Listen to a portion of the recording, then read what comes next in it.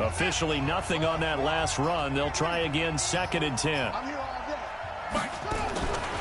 From the gun, it's Jackson. It's brought in here by Willie Snead. And he gets this one inside the 15, just a yard or two shy of the 10. Good work after the catch. Going to net him 23 and a first. Jackson and the offense come up first and 10. And he's four for four now, throwing the ball to start the drive. Being chased out left. And it's intercepted at the goal line. Picked off by the rookie first-rounder from Michigan, Devin Bush. And his guys have got it back at the closing stages of the first half. The Steelers take over first and 10 at their own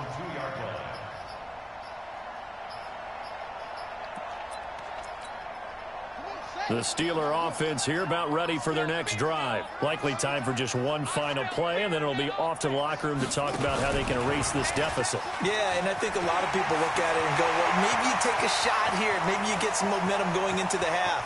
What's the flip side of that? You do something crazy, quarterback gets hit, ball comes free. And he's in for the touchdown on the final play of the first half. The prayer is answered. How did they get that done? And after that touchdown, we are just a PAT away from a tie game, and I know everyone's going to look at it and go, guess what? Tie game, all even, uh-uh. they just scored. If they kick this extra point and tie it, they're going to feel like they're the ones that are in control. Extra point put through by Boswell. And that will take us to the end of the first half of play. So thanks to the late touchdown, it's a time ball game here heading to break. As we send you down to Orlando where Jonathan Coachman has our EA Sports halftime report. Coach, set and ready to go for the second half. One touchdown apiece, 7-7 our score.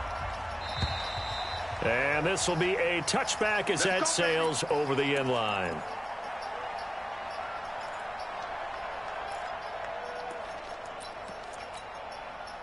The Pittsburgh offense at the line to start their next drive. They have a chance to break our tie here as we get a look at the first drive of quarter three. And it's such a tone setter, isn't it? Because both sides trying to seize momentum to begin the half. What do they have dialed up that'll give them an advantage to move the ball downfield? Let's find out what they have dialed up. So here's a first and 10 at the 38. First and 10 at the 38 He's got the first down and more past midfield. And he's all the way down to the 13-yard line. It's a big play there for the Steelers. So they dig a little deeper in the playbook there, get the wide receiver the ball, running it, and it proves fruitful. Love the call. When you've got a guy who has running back skills, you want him to touch the ball as well, not just out wide where you throw it to him. Make sure you hand it to him or toss it to him and let him go to work. 57.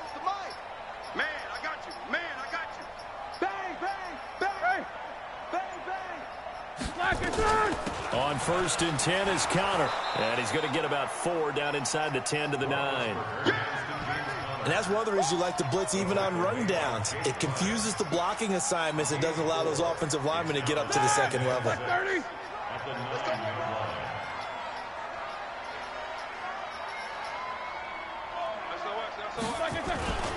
They stay on the ground. Here's Conner again. And only about a yard there as he takes it from the 9 to the 8. And the big fella stuffed that one up in a big way. I think doubling him has to be a priority because you can't move up to the next level if you don't take care of him first.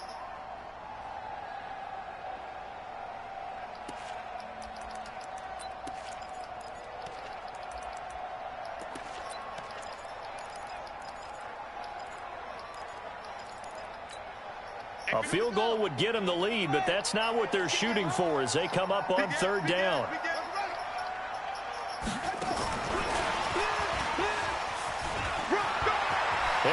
is in. Touchdown, Steelers. Juju Smith-Schuster with his second TD of the game, his sixth on the year. And the Steelers have taken the lead.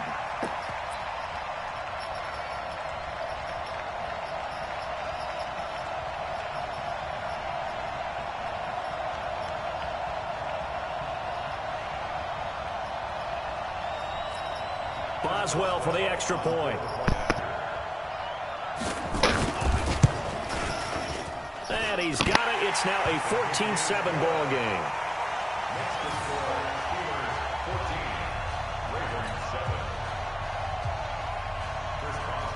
Boswell now to kick it away after the touchdown.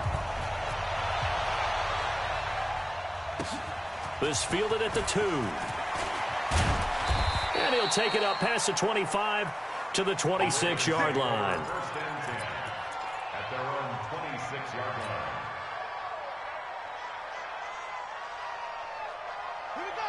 Raven offense set at the line for this next drive. And this game was all square at halftime, but now they find themselves down seven following the opening drive touchdown here in the third quarter. And they need to take a good, relaxing, deep breath, don't you think? Because right now they might start to feel like they've got to play catch-up here and start matching them point for point. But it's still too early to get there. They can still run their offense. Plenty of time to get back in this game.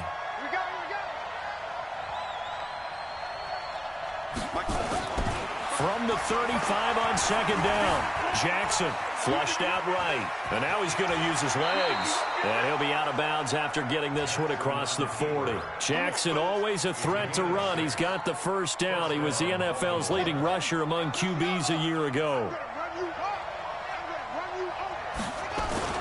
This is Ingram on first and 10. And that play went nowhere. Losing yardage.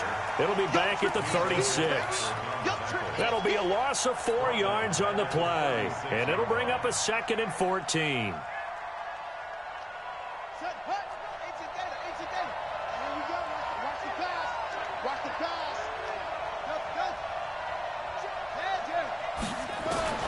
And now Jackson will look to throw it. And that'll be incomplete. Took a pretty good shot as he tried to pull that one in. Couldn't hang on third down. We saw this a lot in the first half, and it continues. These receivers just not able to get much separation. So that means they have to win the 50-50 balls. They've got to go up with the defender and find a way to start coming down with them. And this time, contact and another incomplete pass. That'll be taken in there by Miles Boykin. So much about offense is what you call hidden yardage. You know, you, you throw the ball to someone, they catch it, and then they can make a big play. You know, they create a play, run after catch. They did a really nice job there of limiting that and keeping him from a first down. Yeah, stopped him in his tracks. Here's Sam Koch now as he's on to punt for Baltimore. He gets this away. It's a good one, drawing toward the sidelines. The field position game, such an overlooked facet, Charles, of an NFL game, but this offense, they're going to be pinned back. What an ideal punt. An ideal punt, and it leads to that term complementary football, because them doing that puts their defense in a great spot, doesn't it? Gives them a chance. If they want to be aggressive, try and maybe get a safety out of this whole thing, it puts them in that position. They start the drive with Conner. And he's brought down, but not before they get it across the 20-yard line. A gain of 10, good for a Steeler first down. And that's the big fella's MO right there. Running through tackles, keeping the sticks moving forward. This defense, if you don't bring 11 guys to the ball to try and get him on the ground, he's going to keep making runs like that. I feel the press box shaking every time he touches the rock. Nicholas, 66. Middle. Throwing now, Roethlisberger on first down. He'll get that one complete to Conner. And he gets it here to right around the 24 before he's out of bounds. I know most of the time when the ball's in the air, you're thinking wide receiver, tight end, but running backs, they can be a big part of any passing offense nowadays. That first down completion only netted him three. Second and seven.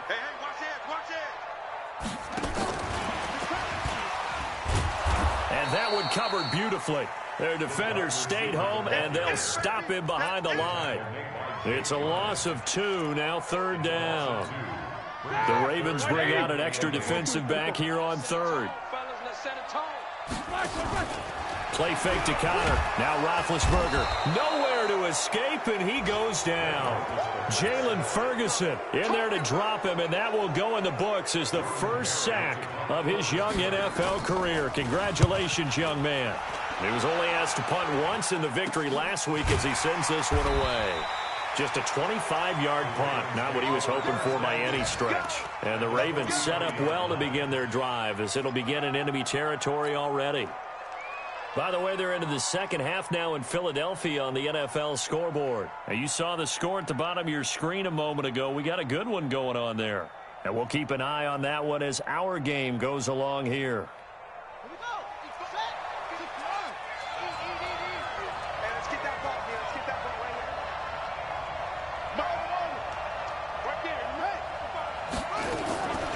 Throw on first down with Jackson. And that is incomplete. Trying to get it to Willie Snead there. And that'll bring up second down. They tried to make something happen, but that one came up incomplete and really wasn't a good-looking throw. Yeah, maybe even go as far as to call that a little ill-advised. Yeah, I would say so. I think that's the right phrase for it. Definitely ill-advised. Just wondering about his mechanics right now, you know, and that's the tough part. You do so much stuff in practice to make it repetitive, but it has to repeat under pressure, whether it's pressure from the defense or just the pressure of playing the game. Now, this will probably be the last play of the quarter. And they're not going to get to the line to run another play. So we will switch ends as the third quarter has come to a close. And that'll do it for the end of the second quarter. This is the NFL, and it's on EA Sports. From the gun on third down, Jackson. He wants it all for the end zone. As his guys are in for six. As they can now even this game here in the fourth quarter with the extra point.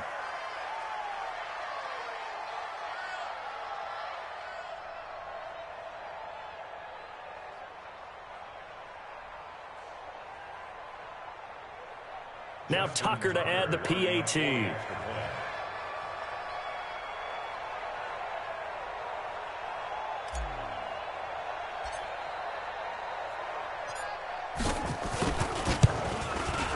And an important one that is as we are tied now early in this fourth quarter.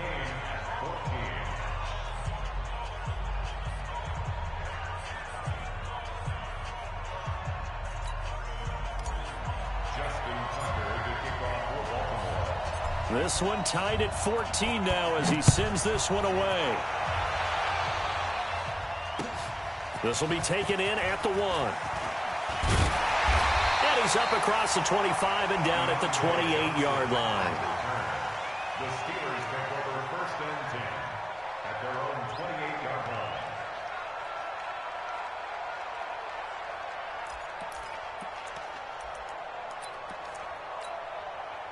The Steeler offense here about ready for their next drive. And a tight game after punting last time. See if they can get something going on this drive. As they head to the field now, with the game this close, you've got to feel there's a sense of urgency for them going on offense right now. But they have to do it without letting panic creep in and affect their play. Now a pass that's taken in by Smith-Schuster. And down he goes, but he takes it up to the 40. 12 yards that time at a Pittsburgh first. Some good games going on in the early window. This might be the best of the bunch. They'll run on first down. It's Conner. It's a six-yard gain on the ground, and that'll make it second and four. Despite the blitz, they're still able to pick up a nice solid gain. The disadvantage of blitzing often alters the normal spacing and run fits and leaves creases like they were able to exploit right there. On second down and four, Roethlisberger. Ebron with it over the middle. And he'll get it down to the 47 here. Six yards to pick up, and that's a first down. Here we go, here we go. Take both of them. Like 20. First and 10 Right, at 47 77, yard 77. These two. Shift, shift. Two, three, three. They'll throw on first down with Roethlisberger. Taken in there by James Washington. And he's going to take it in for a Steeler touchdown. James Washington, his second touchdown on the season. And they're able to break the tie and move out in front here in this fourth quarter.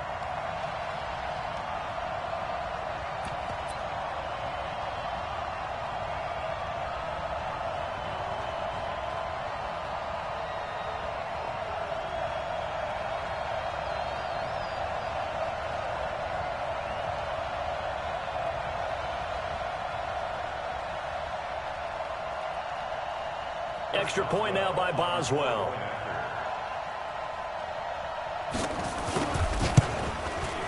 It's up and good, and that'll make the score 21-14.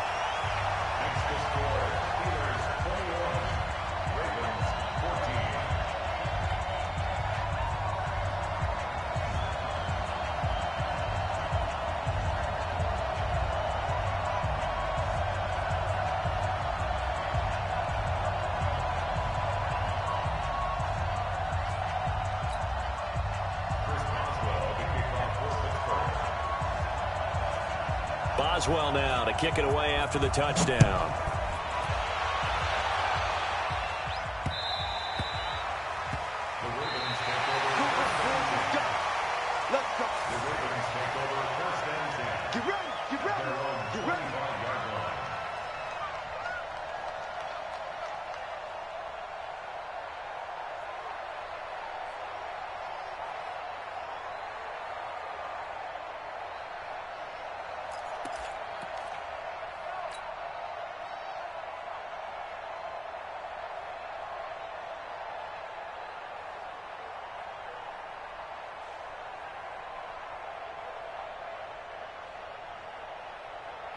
The Raven offense set at the line for this next drive. And for them, a touchdown their last go-around. Obviously, they'll be hoping to do that again. And when you start plotting for this drive, when you start thinking to yourself, hey, what are we going to do? You don't go away from what you did before because that worked, but you have to be prepared for wrinkles and counters because you know they'll make some adjustments.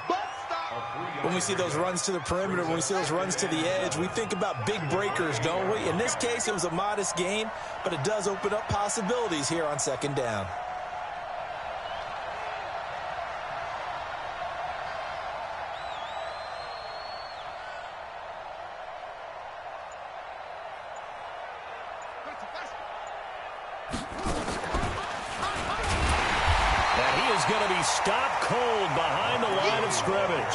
The tally there, minus two yards, brings up third down. Seems pretty obvious defensively a key was stopping the run game. How have they done it so successfully? To me, it seems that these guys really did a nice job of paying attention during the scouting report meeting. And you know, Brandon, when they do those, they talk about the top plays that these guys like to run. The best runs for the top running back, those are the ones you focus on and want to take away. And they've done that pretty successfully in this game. Now, meanwhile, a pass that should have been intercepted, but it winds up falling incomplete. Pretty lucky to get the football back. Had his target out there waving the arms, saying I'm open, but maybe didn't see him quick enough. And I know the jokes are always about defensive backs' hands. What really actually happens, you don't get many opportunities. You get over anxious, and you start to think about taking it away and going the other way instead of focusing and catching the ball. On is the punter Koch, who sends it away. Pulled in at the 24. Nice job bringing that one back. 14 on the return. And the Steelers will go on offense here, first and 10.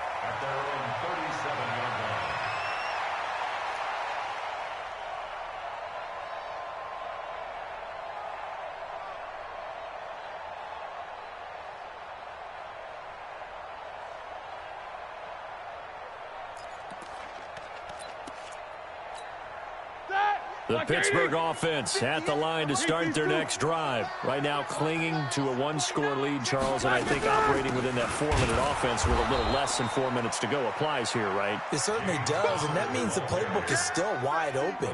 But you are a little bit more careful about what you're calling. You want plays that are going to gain yardage how would you say it, consistently, mm -hmm. right? You don't need the big shots downfield, but make sure the clock continues to run. Pile up the first downs. And the goal end the game with your quarterback kneeling down at the end, and you still have the lead. Clock continuing to run. They'll probably wind this all the way before snapping it on second down.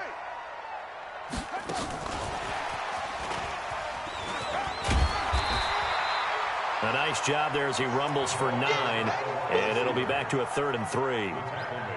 Anytime the offense shows what they call a shot play or a chunk play where they're trying to get big yardage, sometimes people just call it gadget plays, and you hold it to a gain that we just saw there, you feel pretty good about yourself as a defense.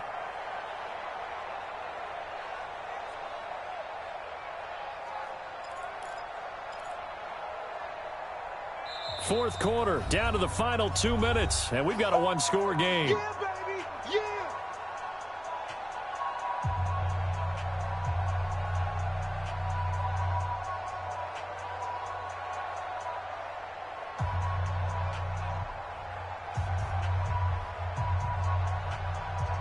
So the Steelers with the football as we get you reset. And let's see what they've come up with offensively after having time to talk it over. They'll try and run for it with Conner. Room here to run. And they'll wind up getting this one all the way down inside the 20. A big chunk of yardage there, 37 yards. Do my eyes deceive me, or is he getting stronger as this game moves along? Burst seems just as good here in the fourth as it was way back in the first, doesn't it? I do believe someone put a lot of time in in the offseason and continues to condition during the season in order to continue to carry the ball at this rate. Right back to Conner here on first. And he's going to take it in for a Steeler touchdown. James Conner, his sixth touchdown of the season. And the Steelers, they broaden their lead. Well, it'd be real easy to say that they are firmly in control right now, but I'm looking at your face and I'm thinking I've got to be careful with that. Well, it's a two-score game. You're inside of two minutes. I think you can breathe relatively easily now. Yeah, you can, but still, you got to stay vigilant. Can't give up anything cheap and easy. That could put you in some jeopardy. Boswell good with the extra point, and the lead now up to 14. Boswell now to kick it away after the touchdown.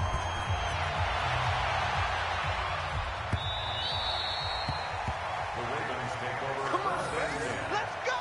at their own 25-yard line.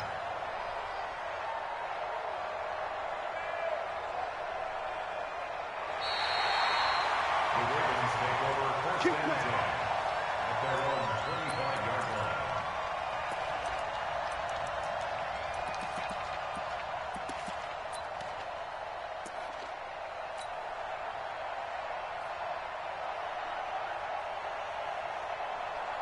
Here we go. The Raven offense set at the line for this next drive. These guys had to punt their last possession, and that's become too familiar of a refrain. Too many of these drives just wound up going nowhere. But you know how in baseball, when the pitcher gets a base hit and he's on base, they bring his jacket up? And Jackson cannot get away, and he'll go down. T.J. Watt in there to take him down, and the clock will roll. Chalk that up as their first sack in this game, and they tallied four a week ago. And probably not as much exultation in that sack as what took us so long. Because when you get four the previous week, you're counting on continuing that momentum. They didn't get that. He's got a man complete. Now the Ravens going to use one of their timeouts as they get the stoppage with a little over 50 seconds left to go in the game. The big play has them all the way out near midfield for a first and 10. Check the out. Check the out. Check the out.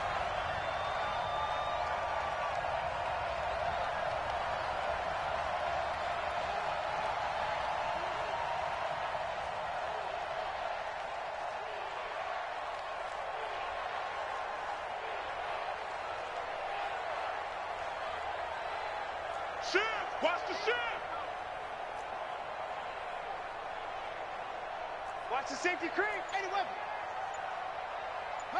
it go! From the gun, Jackson. That's pulled in by the rookie from Notre Dame, Miles Boykin. The completion good for three, and it's second down. Get him, boys! At the 50 I know many people like to throw to the tight end, maybe in a little flexed out position because he creates mismatches with his size. But slot receivers do the same thing with their quickness, their speed, and their route running savvy. Midfield now, here's Jackson. Oh, he's got a man wide open, complete. The Ravens going to use the second of their timeouts as they stop it here with just under 40 seconds to go in the game.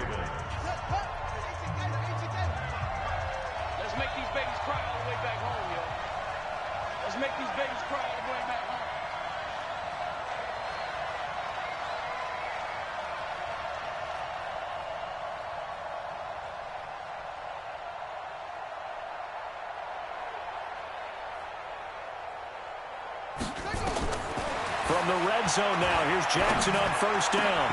And he takes this one into the end zone, and all of a sudden, here in the final minute, things get a little bit tighter. Tucker now to add the point after.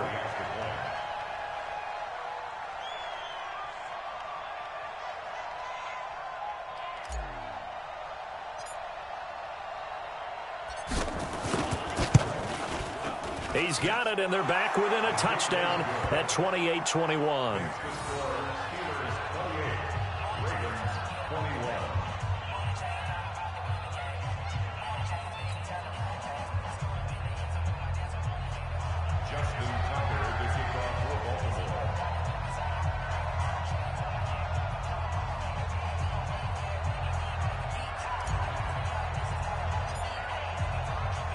Tucker now to kick it away following the touchdown. And a fair catch signaled for and taken successfully. The Steelers take over first and 10 at their own 25-yard line.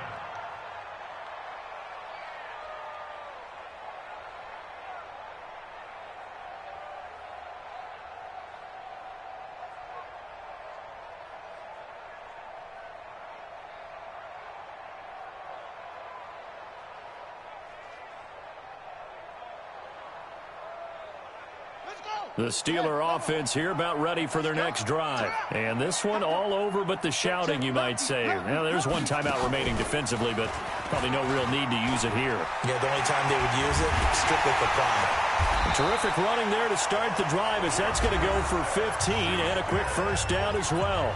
Now the Steelers use the first of their three timeouts. It's just their first. They've got two more to use here in the final stages.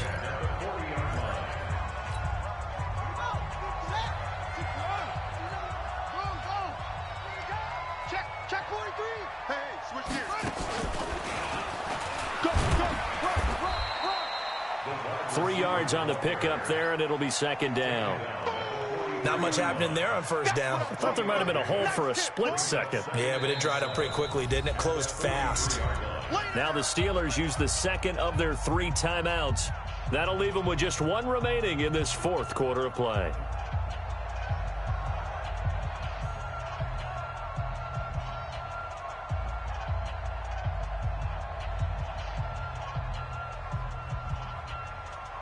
Have to imagine this will be on the ground as well as they come up second and seven.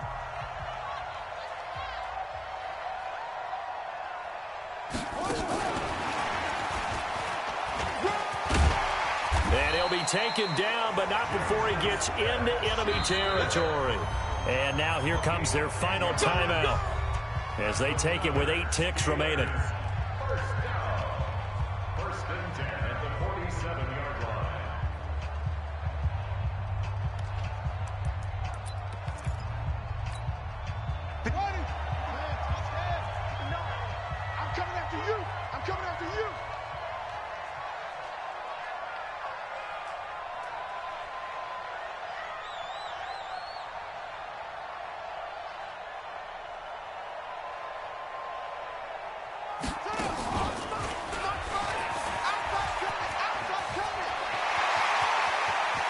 Past the 20.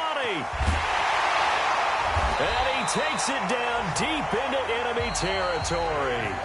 So this one in the win column for the Pittsburgh Steelers. And they were buoyed, Charles, by a big second half that put this one on ice. So you get the sense that whatever was said at halftime obviously hit home. I think it's a little bit more than that, though. Obviously, there are words that are said, and hey, come on, guys, we have to play better. But sometimes it's just sharpening your execution, sharpening your focus, and maybe doing the things you practiced all week without major adjustments, just doing them better. And that got it done in this one. So for Pittsburgh, their strong September has carried over to October as they move to 5-0. And they will hit the road next week to take on the L.A. Chargers. Meanwhile, for Baltimore, the loss will move them back to 3-2 on the year. And they'll get a chance to redeem themselves at home next week. And for Charles Davis and our entire crew here at EA Sports, I'm Brandon Gaudin saying so long, everybody.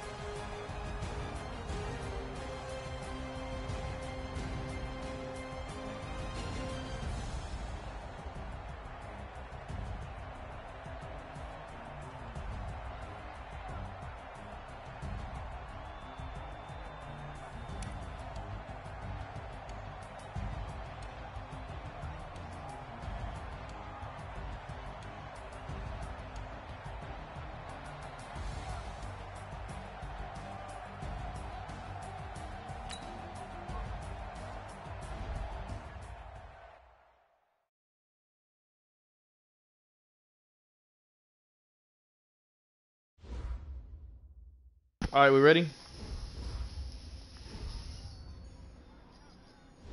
Huh? Oh yeah.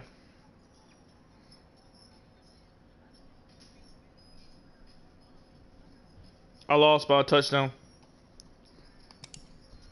He trashed though, bro. He run like a fucking college style offense. He, he the only reason he beat me is because he scored on a fucking uh wild twice that he ran back to back. And what's crazy is they told they have